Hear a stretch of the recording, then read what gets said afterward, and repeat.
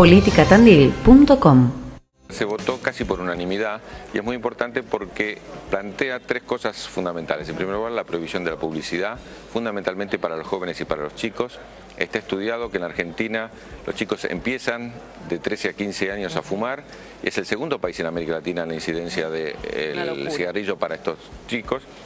El segundo tema es que prohíbe eh, fumar en los lugares cerrados, 100% libre de humo. Ya hay nueve provincias que tenían esta ley, pero el resto del país no. Entonces unifica para todo el país los lugares públicos o privados libres de humo.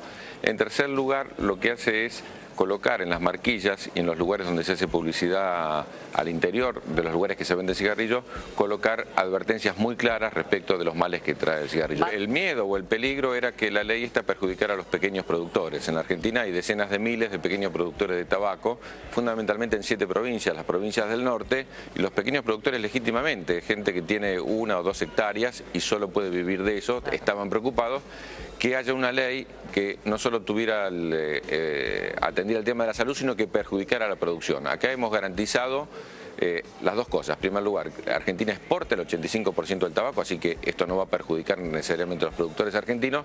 Y en segundo lugar, hemos también el mismo día votado una ley contra el contrabando del tabaco.